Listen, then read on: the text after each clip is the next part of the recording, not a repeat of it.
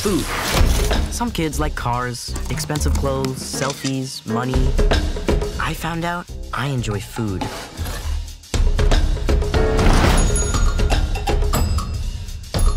You are a Jew from your mother. He is a Muslim because of his father. I'm sorry. Is atheism matrilineal or patrilineal? My name is Abraham Solomon Ode. Some people call me Avraham, some people call me Ibrahim. I prefer Abe. Happy birthday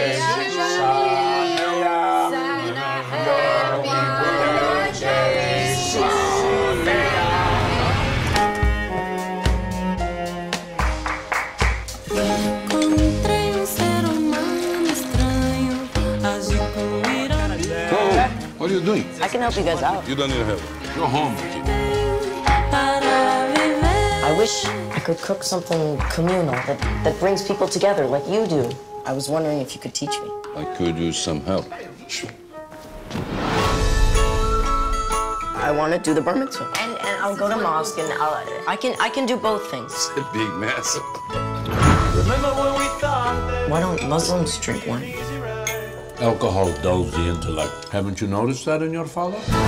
But that's not the way it is. That's not the way we It's a, a ramen taco. It's a taco with ramen noodles. Terrible. You are mixing fusion with confusion. Calling falafel the national food is another way uh, Israel appropriates our culture.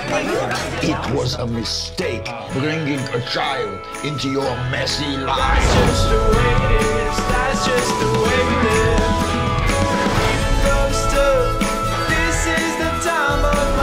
Understands what I'm going through. life. Even though still. Maybe your generation can find some kind of peace. I hope. You can't choose your family, kid.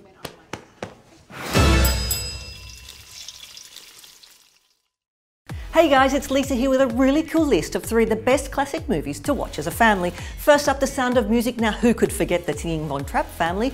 Next up, Charlotte's Web, based on E.B. White's book, a classic about a spring pig named Wilbur who befriends a spider named Charlotte. And to close it out, Willy Wonka and the Chocolate Factory, the one from 1964 with Gene Wilder, not the one with Johnny Depp. What's your favourite classic family movie? Let me know below. And remember to click down here to subscribe.